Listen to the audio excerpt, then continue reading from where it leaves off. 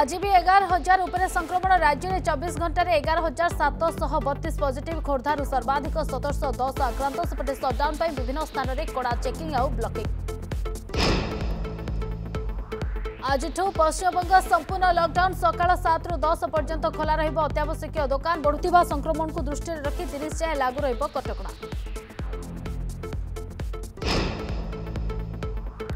ডাডন রে বেধড়ক চালিছি দেহ ব্যৱসায় সংগঠিক চিত্র আছছি ৰাজধানীৰ ৰাতি পাই 2500 ঘট্যায় পাই 500 টকা পুলিছৰ পেट्रोलিং কো নে উঠিলা প্রশ্ন করোনা কালৰে ব্ৰহ্মপৰৰ আছিলা আস্বস্থিকৰ খবৰ সুস্থ শিশু কন্যাক জন্ম দিলে করোনা অহেচ আইপি পজিটিভ মহিলা